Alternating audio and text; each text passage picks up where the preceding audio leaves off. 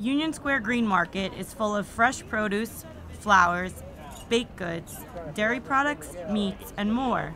But it offers New York City residents more than just good eats. This is a terrific retail opportunity for farmers to be able to sell directly to consumers, and so there's no middleman. So they're taking that profit and putting it back into their small family farm and protecting farmland from becoming developed. In order to stay true to this mission statement, Greenmarket makes sure to screen its applicants. They submit applications and we vet them. We have a farm inspector who visits our farms and once they're approved, they come in and we match them with neighborhoods where we think their products will sell well.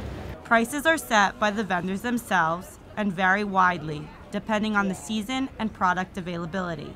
Specialty crops, like I tried some branch lettuce the other day. It's a really specialized crop. The farmer only had two bags of it. That's going to be more expensive than, say, sugar peas. There is, however, one rule that consumers should always abide by. I don't haggle for the prices. This is supporting small family farms and they're going to price their products at a price point that they think will sell well in the market and that's sustainable for them to keep farming.